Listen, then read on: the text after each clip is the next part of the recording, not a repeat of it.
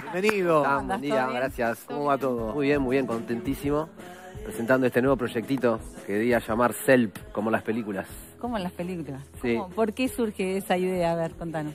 En realidad, como las películas, se llamaba la canción que estábamos escuchando recién. En realidad se llamaba Selp, la canción. Y ya buscando nombre, o sea, después de casi 20 años al frente de Boomerang, una banda que hace mucho tiempo que, que venía haciendo discos y tocando sin parar. Este, bueno, la inquietud de- con nuevas canciones de hacer este nuevo proyecto y dije, ¿cómo le pongo? ¿Cómo le pongo? Y, y como las películas me había quedado siempre ahí en la, en la, en la retina, digamos, y, y la canción se llamaba así, dije, bueno, nada, le puse así. Y también por una cuestión de que no- con Pablo, que es eh, eh, un amigo que me acompaña siempre musicalmente, digamos, somos bastante cinéfilos, por decirlo de alguna manera, y nos parecía interesante jugar con todo ese imaginario también de las películas y, y- y del encare como estético también y visual de la, de la música. Claro. ¿De qué va el álbum puntero? Y bueno, y Puntero va de ocho canciones eh, bastante personales que, mm, que tienen un encare un poco distinto a la banda y que la desarrollé más que nada con un productor eh, artístico, digamos, y, y son bastante personales. En realidad, recién ahora también me está cayendo la ficha de qué quise decir con el disco, viste que lo, vas- lo, lo hice y Lo, en- lo vas descubriendo a poco, ¿no? Exacto, y, fue un disco también que, que me agarró después del parate de la banda, digamos, eh, en 2020, la pandemia en el medio, entonces ahora me doy cuenta que muchas cosas también tienen que ver con eso, con ese, con la pandemia, con esa situación, con todo, y, y- y hay como una temática particular que, la, que lo hilvana todo, digamos, pero, pero recién ahora le estoy encontrando un sentido. a ¿Y costó después de tantos años de estar con Boomerang y que tiene un estilo muy particular y demás, correrte de ese lugar? En, en realidad no me corrí porque, viste, el compositor era yo también, estaba como, eh, digo, es como que le dio otra impronta y era como, tenía la necesidad de decir otro tipo de cosas que no, no, no entraban como sentimentalmente dentro de la banda, claro. ¿viste? Lo que pasa como- la etapa de solista es otra historia también. Exacto, claro. exacto. Entonces es como una cosa más personal, pero también era como una necesidad mía, artística, también de, de- Es como las relaciones también, ¿viste? A veces, nada, cumplen su ciclo y, y- y la banda no se separó, digamos. Es como la, está en un parate y está ahí. Entonces como que dejamos un rato y vamos, déjame hacer otras cosas.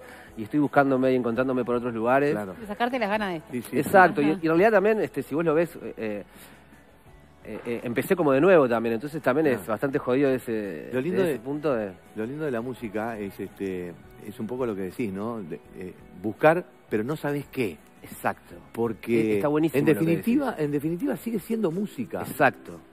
Exacto. Y no lo ¿cómo- haces tampoco por no. plata, o, si bien es mi trabajo, pero es una búsqueda constante también, es una necesidad tuya que vos tenés de hacerlo, ¿viste? De Claro. sentirte bien también con lo que estás haciendo y no caretearla, no sé, como forzar algo que en realidad ya está desgastado y, y- y que bueno, tenés que darle un respiro también, no sé si es la palabra desgastado, pero Sí. está cual lo que decís vos. Obvio. Sí, salir de la zona de confort y buscar nuevos desafíos. ¿no? Exacto, y algo que te, que te entusiasme, ¿viste? Que te haga sentir vivo. Para, y entonces- decías, aparte de arrancar de cero de nuevo, así lo viviste como, bueno, para, porque Totalmente. hay un derecho de piso que ya pagaste. No, totalmente, sí. Y ya, por suerte, cosecho muchas cosas que vengo haciendo hace mucho tiempo. Claro. Entonces, ya sea trabajar con Gustavo Iglesias, que es un grosso y gran amigo mío hoy, que es el productor de Babasónico. Entonces, también estoy con él y hago los videos, que este video que fuimos al principio era Santiago Forteza, un director amigo mío increíble. Tengo la posibilidad de trabajar con un equipo de gente importante. Pero es empezar de nuevo a hacer que la gente te conozca, que sepa que tenés un nuevo proyecto, presentar las canciones. Ahora, Claro. Gonzalo, más allá de, de todos tus años como trayectoria, ¿no? Eh, ¿Cuánto te marcó eh, aquel recital de, de los Rolling Stones y, No, y me poder abrirlo? No, me cambió la vida. Eso es. En- a ver, ¿en qué. ¿en qué cosas te cambió?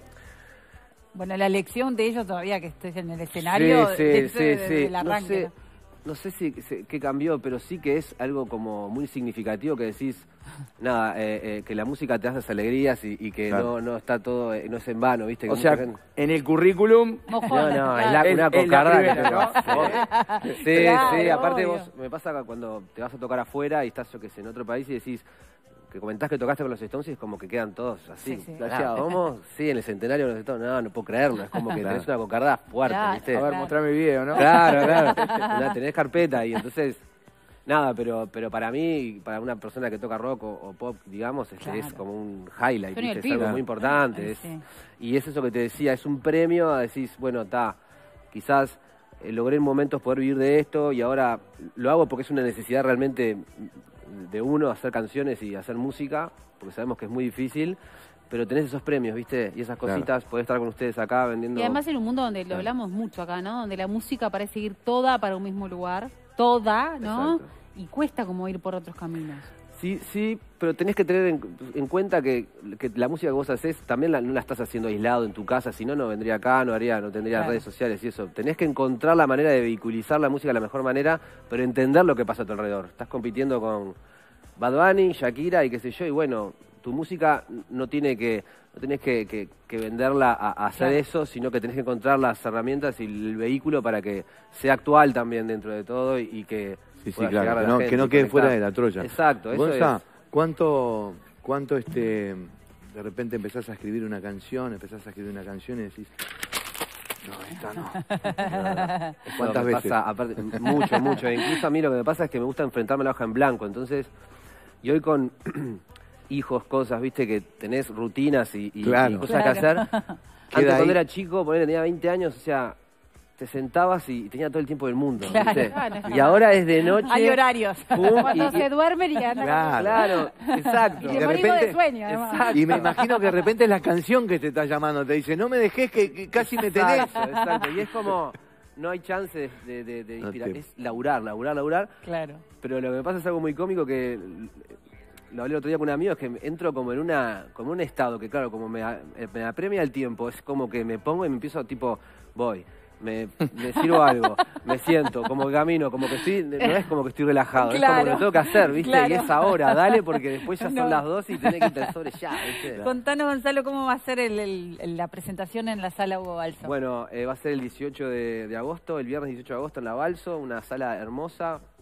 Eh, teníamos ganas de, de que la gente pudiera ver todo el disco y también hacemos todo el cancionero de Boomerang y, eh, re- con unos cambios y qué sé yo. Y, y bueno, pero que le puedan prestar atención bien al show, era la intención.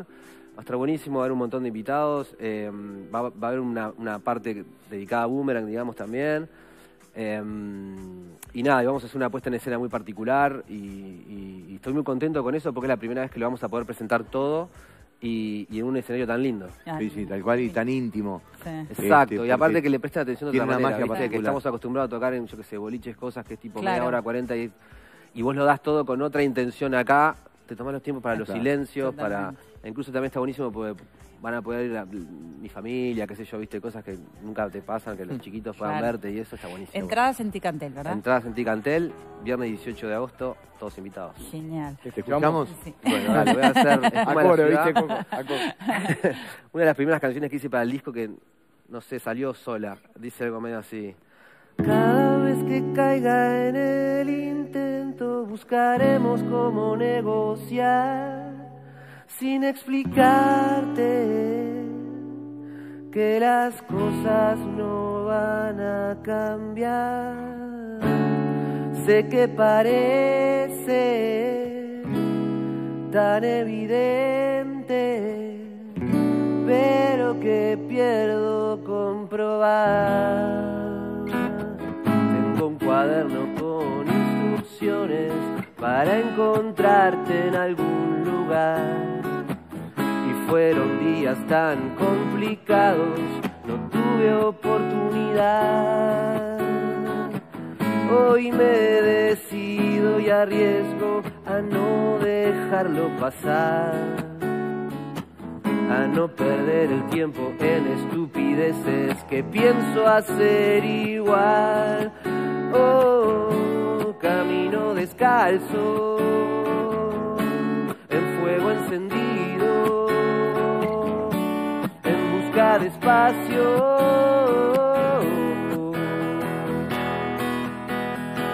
Cada vez que caiga en el intento, buscaremos cómo negociar sin explicarte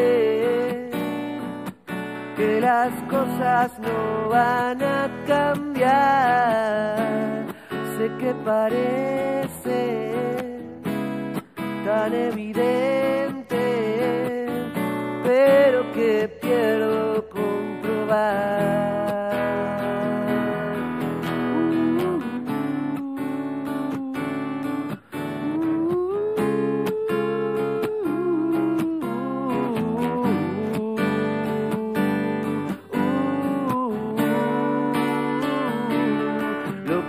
Del viaje, atar melodías espuma de la ciudad. Subir el parlante,